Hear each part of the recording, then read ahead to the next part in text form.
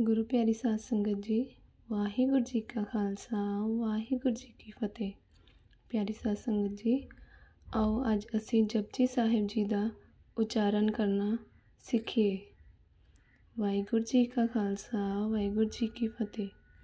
ਜਪਜੀ ਸਾਹਿਬ ਇੱਕ ਓੰਕਾਰ, ਸਤਨਾਮ ਕਰਤਾ ਪੁਰਖ ਨਿਰਭਉ, ਨਿਰਵੈਰ, ਅਕਾਲ ਮੂਰਤ, ਅਜੂਨੀ ਸੈਭੰ ਗੁਰਪ੍ਰਸਾਦ ਜਪ, ਆਦ ਸੱਚ, ਜੁਗਾਦ ਸੱਚ, ਹੈ ਵੀ ਸੱਚ, ਨਾਨਕ ਹੋਸੀ ਵੀ ਸੱਚ। ਸੋਚੈ ਸੋਚ ਨ ਹੋਵਈ ਜੇ ਸੋਚੀ ਲੱਖ ਵਾਰ।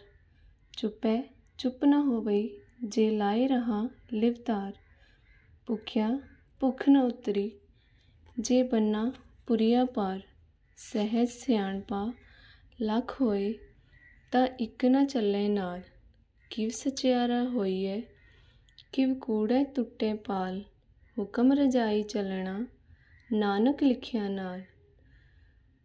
ਵਾਹਿਗੁਰੂ ਜੀ ਕਾ ਖਾਲਸਾ, ਵਾਹਿਗੁਰੂ ਜੀ ਕੀ ਫਤਿਹ।